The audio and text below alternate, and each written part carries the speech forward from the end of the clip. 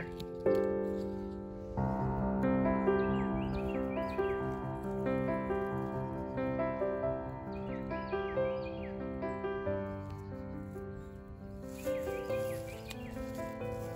That must be a violet.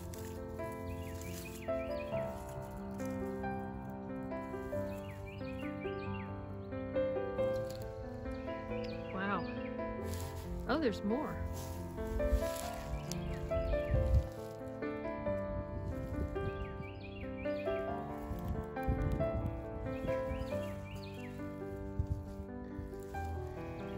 I love it. I'm trying not to step on any.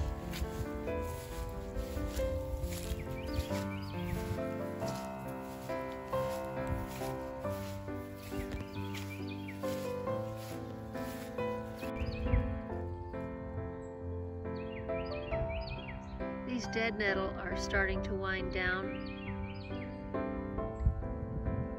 It's just a springtime thing.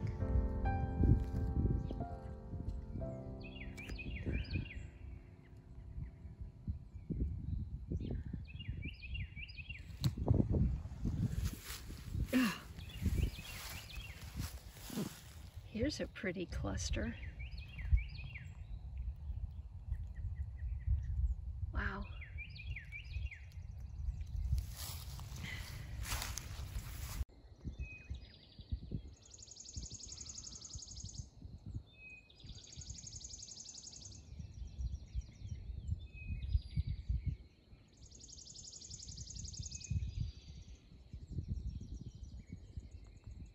Hey everybody, Kaye here on the homestead. I'm doing a little grounding.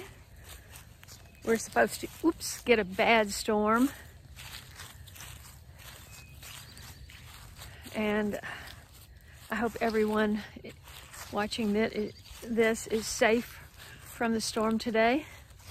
Just wanted to put out a quick little message. I walked down to the mailbox, saw a few wildflowers.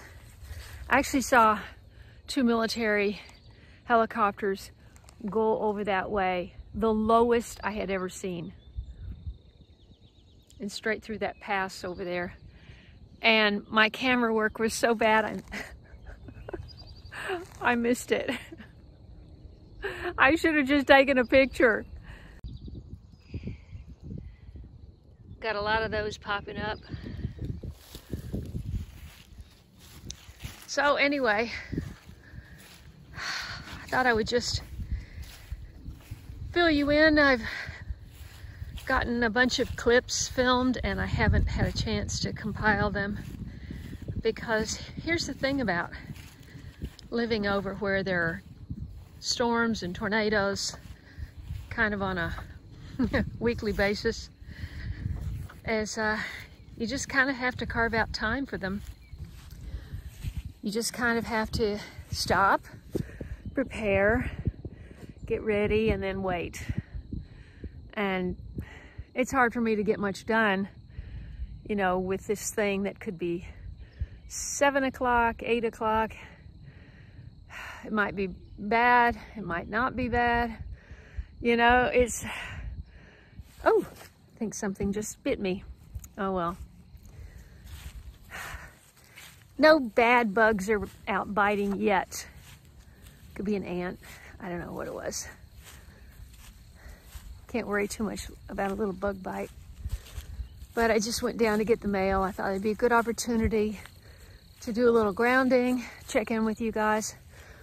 And hopefully I can just go in and maybe cut together a video before um, before the storm and get it out in the morning so you know what's going on. Uh, oh man, that looks good. I should get some seeds. I should get the should get the wildflower seeds down. But you know, in order to do that, I really need to rake them in and then cover them with hay. That's not gonna happen like in the next 10 minutes. So, especially now that my four-wheeler, it had some kind of a seal on the back left tire wheel that leaked out. And so my personal four-wheeler repairman, Butch, came and picked it up. And he said he'd have it back next week. And I'm going, oh, what am I going to do till then? This hill is a killer. Oh, I pulled my gorilla cart heavy, full of wet, crushed leaves up the hill last night at dark. I thought I was going to die. Anyway, ah, I haven't gotten much done today, but uh, at least a few things. Moving forward, step by step. All right, just wanted to check in. Thanks for watching. And I'll be sure and post on my community page how it goes tonight with the storm. And everybody check in if you're in the path of the storm. And uh, if you're new here, this is my front yard. I used to have a 5,700 square foot property, house, driveway, garden, art studio, everything on that amount of space. And now I have a lower garden down there, right down there. That's 5,000 square feet. so you can see I stepped up in size and responsibility, but I wanted to do it, you know, while I still could. I wanted to see what it was like to have more space. I had a tiny little garden, never was able to grow much of anything. And, and so we'll see how it goes. Thanks for watching. I hope you subscribe if you haven't and watch for my video in the morning.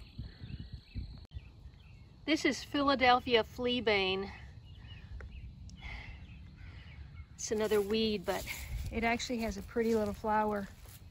I've got one blooming over here. Oh, and look, I got some pansies. I bought those, I confess. There's a fleabane growing right there in the flower pot and chickweed. I left those in there. Where is it? Where'd it go? Uh,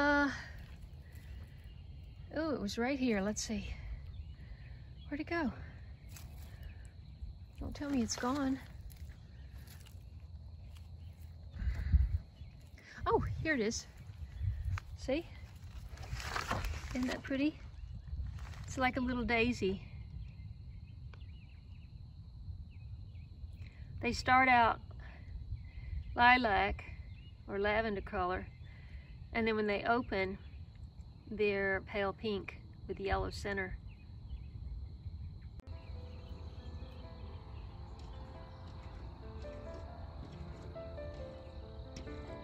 Hey, Tiger. You have to stay inside. Got another storm. Got another storm. I know. I know.